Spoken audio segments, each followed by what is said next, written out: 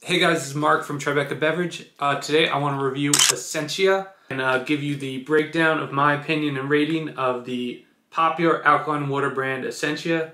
So stay tuned, watch the entire video, hear my feedback, uh, see what you guys think. But uh, this episode is dedicated to sharing my thoughts and opinions on the water brand Essentia.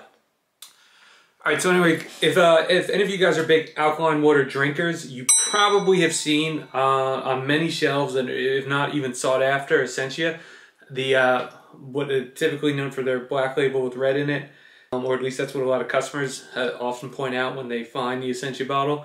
It's probably at this point the most popular water, at least in America, that I've seen, or what you know when I speak to customers about when it comes to a higher pH or that 9.5 pH when it comes to alkaline water.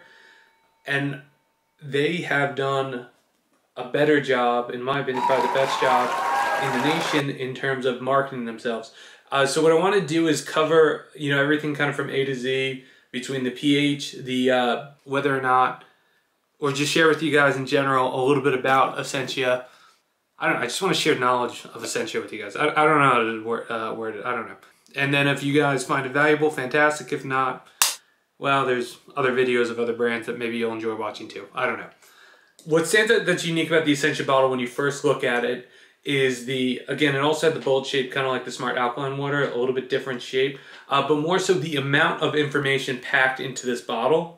This is the one liter. What you really often see is the one and a half liter or one liter bottle. I think I bought this at a convenience store and a gas station and I paid, I think, $2.89 it was pretty expensive. There's probably many other better deals, but I was just quickly trying to get this. But when you look at the bottle, it really comes with a lot of information. We're here to put a flag in the ground and tell the world, we're here to put a flag in the ground and tell the world that a better you starts with a better water. Hashtag Essentia Nation. This is on the bottle. I, I don't see this. I, I, I, maybe it's in the website too. Uh, this is my first time actually looking at the bottle in greater detail. I, I, I don't I don't know if anybody knows that uh, um, hashtag or quote from Essentia, but uh, maybe the bigger fans. Uh, but they really have a lot of information in there, and I guess it's a it's a good start to let them know the kind of the customer base, the message that they're trying to set forth, and how they believe in a better water would create a better you. Pretty empowering for a uh, bottled water company I don't know many other brands that would often, you know, Fiji, Nestle Pure Life, Dasani Aquafina that uh, really kind of put so much emphasis on uh, how much their water can do for you. But uh, so there is something that's interesting that Essentia has on their website, and I know because I've looked at it many times, and then also on their bottle here. And, and I want to read this because I just uh, from having our own water delivery company, I, I run into this issue quite a bit because our water is also purified. Our proprietary process turns water from any source into supercharged ionized alkaline water. It's even too pure to be tested by pH strips. Okay, what that means is when people think of testing water, they use a pH strip, makes sense, it happens all the time for pools. Uh, for purified water though, the pH strips aren't that accurate. I, I'm not a scientist but my guess is it's because the amount of TDS is too low. Basically, there's not enough stuff in the water to really get an accurate reading. This is a prime example. I'm actually glad that they put it on their bottle. Uh, one of the common issues that we ran into, even with our own water, is the fact that if you use a pH strip, the water would come back acidic or not alkaline or you know whatever rating, and the pH strip never really came back and gave an accurate representation of the water. I've quoted Essentia's website many occasions because uh, I did because I wanted to use another source other than my own, particularly a pretty well-known brand that also ran into the same issue. I guess they see this um, review quite frequently. I don't know if this was always on their bottle, but it is interesting that they did include that because it probably solves a lot of concern for people that use the pH strip and test it and don't get that 9.5 reading or nowhere even close to 9.5 reading. And then when we go over the ingredients, uh, purified water, they use reverse osmos osmosis, sodium bicarbonate, dipotassium phosphate, probably screwed that one up, magnesium sulfate, calcium chloride, uh, electrolytes for taste. The bottle is recyclable. Uh, and then the other thing to point out too that's on their bottle, it was bottled in Washington State. Okay, so the reason why that's relevant is we're here, or I'm physically located in New Jersey. Uh, obviously, they sell New Jersey, New York, all over the country. When you see the expensive price tag for Essentia water, part of the reason for that is the shipping is so expensive to bring it all the way from Washington to the other side of the country. Now, it may still be just as expensive in like the California area or anywhere on the West Coast, even though the shipping is obviously far less. But to justify the cost, and, and again, I think they want to keep a consistent cost across the board, but to ship water that far costs a ton of money for the company. And uh, the retail stores are probably a little bit more, if I had to guess, and I haven't shopped for this in California, but I would think a little bit more competitive on the West Coast between Washington, Seattle, um, or wherever they might have another bottler. Um, I don't know if there's any, it just says this was bottled in Washington. That doesn't mean there aren't other bottlers out there that might be a little bit more closer. But if this is the case, that would also be a reason why they would charge me $2.89 for this because shipping water is expensive. It does add up. You know, we, we know it from our kind of own personal, you know, experience with water. And then the other thing too is it's got a really good grip, similar to Smart Water, and the design is just really well done. I, I really love the label on this bottle. I, I, you know, it stands out when I see it in the stores. I, I, am not as big a fan if you've ever seen their 12 pack with one and a half liter. It's just a black box. It, it doesn't really share that it's in water. Uh, the bottles itself, I feel like, are so much presentable than the uh, those 12 packs. Um, but if you are a big Essentia fan, uh, there was many customers that I would speak to that seemed like they literally would spend, whether it's on Amazon.com ordering it, 25, 30 bucks a case, or they'd literally go, uh, at least prior to working with us, um, and drop, you know, get four cases of the of the 12 pack for 18 liters and spend anywhere from 80 to 90 dollars. This, of course, adds up very, very quickly. What I want to do is just dive into the website for you real quick and give you a little bit of a breakdown. All right, so if you go to their website, uh, the one thing that they do that I think they really proud about uh, or speak highly of within their bottle is if you look at the bottle, it'll say ionized water. The website itself does a little quick video about how they supercharge their water uh, and remove any acidic ions. I, I, don't know the science behind it. I don't know if this is more for smoke and mirrors or they're actually making a big impact in their pH with this. I know they add electrolytes and I, I would imagine from my uh, you know my research here that the electrolytes of the added minerals are probably making the biggest impact on the pH.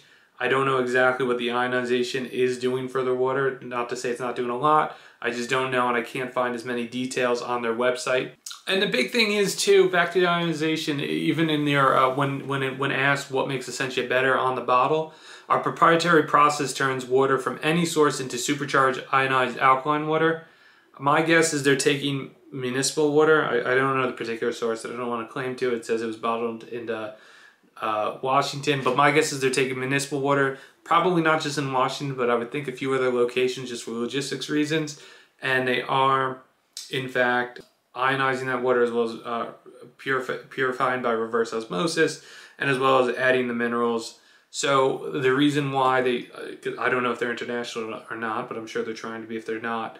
Um, but they probably are making this water, my guess, from a municipal source from multiple for multiple locations. All right, in terms of the marketing, all right, so Essentia is really good in my opinion, and I feel like I've seen it on a bunch of TV shows, and again, people aren't necessarily looking for it, but they might recognize the label. And even on their website, when it comes to the marketing, there's actually a picture of Patrick Mahomes drinking the water, which again, uh, pretty timely within the Super Bowl. I don't know how long they've had that on the website, but whatever they're doing, you know, it, it seems like a similar strategy to Smart Water Alkaline.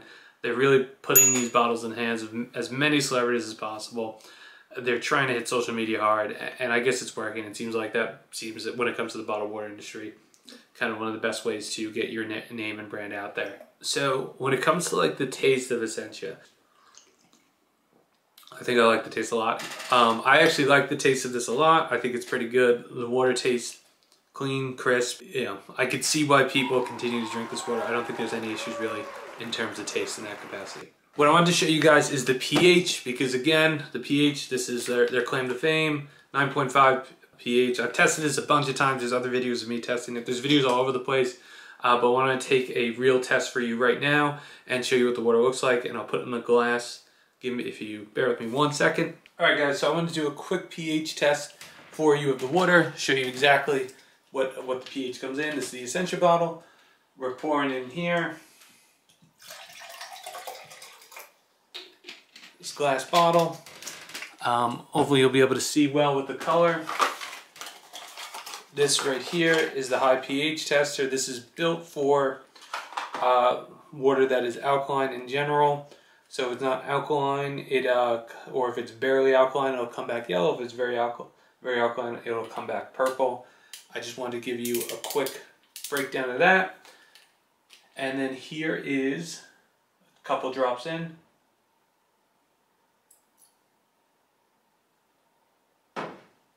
All right, so if you see, if you can see over here, comes back incredibly purple. Bring a little bit closer to the camera. Uh, it is in fact definitely alkaline. Uh, sometimes when I test this pH, I feel like it's come back more alkaline in the past. But sometimes depending on what's going on uh, with the particular bottle, maybe where it's stored, how long it's been sitting around, the pH can fluctuate a bit. In this case, it does look like it's not as purple as I've seen in the past, or as purple as I've actually seen it in other videos. All right, so all right, so to break this down, to give you the final rating or what my opinion of Essentia is, a um, couple different criterias, right? We've got taste, we've got cost, We've got the packaging. I think they knocked it out of the park with the uh, cost. Uh, or I'm sorry, they don't knock it out of the park with cost. I think they knocked it out of the park with the uh, the bottle itself. I think it's very nice. I think the taste is definitely up there. But when it comes to the price, so in this particular example, I bought this at a convenience store. I paid two dollars and eighty nine cents for it. That's a ton of money, but again, I'm sure I would pay a premium for any bottle I got, considering this is only a liter. That was much worse than what I paid for the uh, smart water I got the other week in uh, ShopRite. I think that was like a dollar eighty nine. This is like a full dollar more and about the same size. But again, in a convenience store, you're bound to pay a lot more money than you should. The 12 packs, so typically what I've seen in terms of container, they'll, they'll have six packs or 12 packs, some of a liter, some of a liter half. Um, but the problem is the 12 packs, you'll get paid sometimes depending on the store over 20 $24 for a 12 pack and then sometimes with sales tax.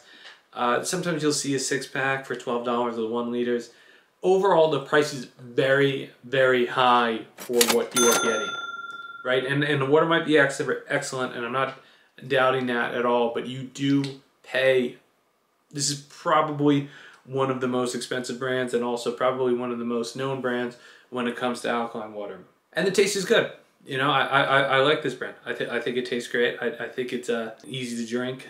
I, and I think a lot of feedback overall is people are pretty happy with the taste of Essentia. So I'm kind of right there with the majority of the world when it comes to that. Out of 10, I'd probably give this an 8.5. It's, it's too hard to go any bit higher than that. But anyways, guys, thanks so much for listening. Really appreciate you taking the time to hear us out. Uh, if you enjoyed the video, please like, comment, subscribe, and uh, check out other videos as well. We're trying to put up a review video at least once or twice a week for the other competitors' water bottles, you know, in the bottled water industry.